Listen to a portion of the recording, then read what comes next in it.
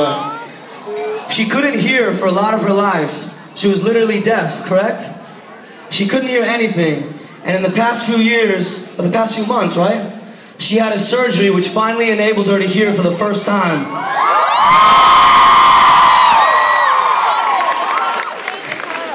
And the, the first thing, the first music that she heard was our band. And we were told that, we were told that story, and I don't know if I've ever been more touched by any story in my entire life.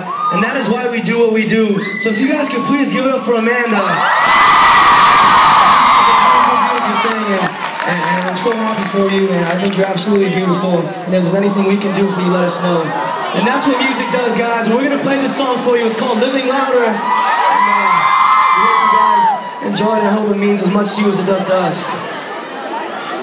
Rob, we should talk about a song